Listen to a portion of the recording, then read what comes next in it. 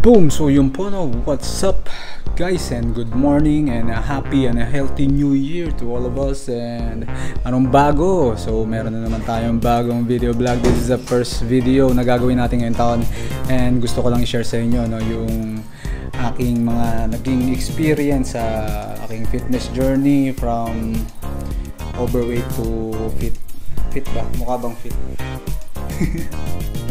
right now no uh, let's get down to business. At uh, gusto ko i-share sa inyo yung push-up experience ko no? So ever since na kaya ko na mag-push up ng 100 pero hindi naman siya tuloy-tuloy. Maybe 20 times 5 30 30 and then 40 or 40 40 20 so naging ano no naging boring na siya no so, why not no experiment and do some push-ups no na pwede mong isama no other variations sa pagpo-push up. So please watch this video and I would like to hear your comments no kung meron kayong gustong idagdag para gusto ko rin masubukan yung uh, push up exercises na ito no na ginagawa nyo rin or pwede nyo rin i-try ito. Happy New Year guys! Papakita ko sa inyo kung ano yung pwede nyo mga gawing variations while doing the push-ups no para hindi kayo ma-bored and mas challenging kasi kaya nyo na yung 100 push-ups. Let's go! What do you mean by regular? Pantay sa inyong shoulders and then push.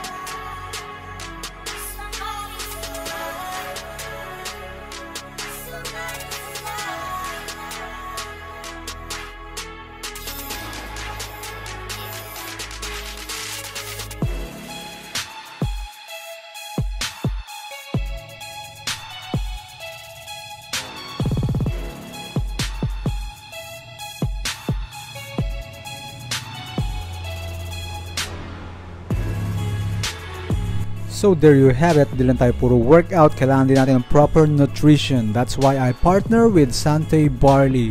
I take Sante Barley juice because it contains 8 amino acids. So yun po no. And I make sure that my body is healthy, clean, and toxin free. So be sure to take your Sante Barley every day. That's why I am also a business partner and this is not a paid partnership with Sante. So there you have it guys. Start this year right, eh, eat right, exercise regularly, and make sure to have a hobby uh, that will engage you to sports or any type of physical activities. So I'll see you next one. This is what the third. Stay fit and peace out.